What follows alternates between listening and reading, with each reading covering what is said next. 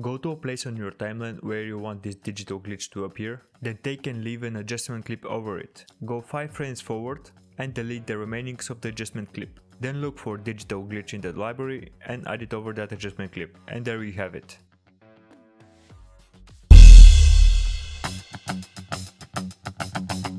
I am dragging and dropping film grain over the footage, which I downloaded from Pexels. Go to inspector on compositive mode select screen, then on the upside increase the values of zoom of your liking, and then under compositive mode reduce the values of opacity of your liking as well.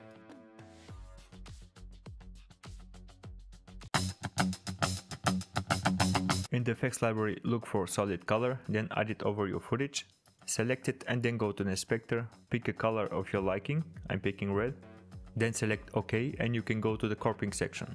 You can increase the values of corp top until you get this line under, then alt and drag to copy another one, highlight the second one, go to the inspector and change the color to similar of the first one, I'm picking orange. Then go to the end of the second color, create a keyframe corp right with the values of 0, then go at the beginning of the same color, and increase the values of corp right until it fills the screen. And now when I play you can see that we're having some minimalistic loading bar. I am leaving plane PNG over the map, which is with transparent background. You can find it from Google while typing plane PNG. While it is highlighted, you can go to the inspector and increase the zoom values to adjust the size of it. Also, you can use this transform icon on the bottom left of the screen by pulling the corners you can reduce the sizes as well. Also you can rotate the angle of it by moving the inner parts. Locate it on the part on the map where you want this travel to begin. You can also match the length of the plane in the map. Then highlight the plane, go in the beginning and create the keyframes. You can select the top diamond and then go to the last frame of the plane. And while the transform node is still highlighted, you can move it with your mouse on the places which you want the travel to end and now when I go in the beginning of the timeline, you can see that the plane is going from point A to point B just by using two keyframes. You can also add a line that is gonna follow the plane. For that just add a solid color, change the color to red, then go to the settings and corp it from the top side until you have a thin line.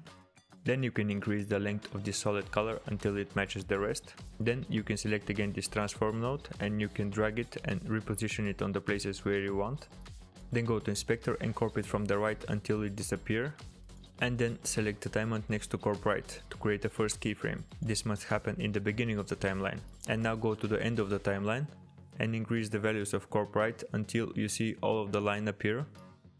And you can correct the angle if it's not exact. And remember that you must have your plane over the solid color. And this is what you're having.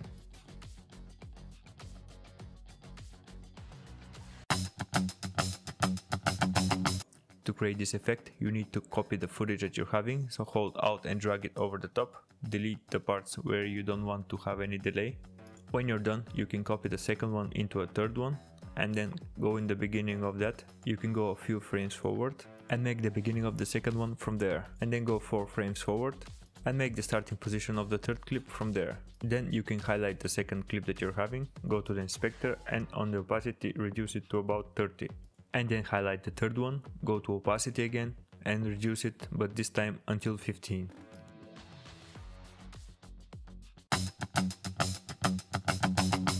Create the bass effect you need to have the adjustment clip but first find the place where you want to start then leave the adjustment clip over it, reduce it to about 5 or 6 frames, then look for directional blur from the library, leave it over that adjustment clip, highlight it, go to the inspector, open the effects so you can work on the blur, and while you're at the beginning of the adjustment clip, reduce the values of the blur, then create a keyframe, go a few frames forward, then increase the values of the blur, and then go a few frames forward more, and reduce the values of the blur again.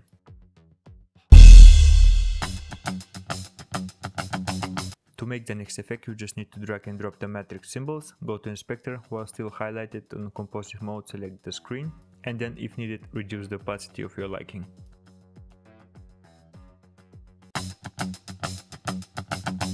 To create the most basic split screen you just need to have two footages, I'm leaving one over the others, go into the inspector and I'm repositioning it to the left side by reducing the position X. While still highlighted I'm copying it from the right to make it fit.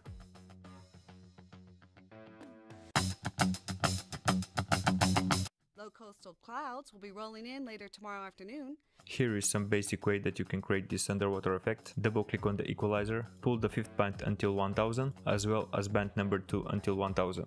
And just by doing that it will give you that muffle effect. Low coastal clouds will be rolling in later tomorrow afternoon.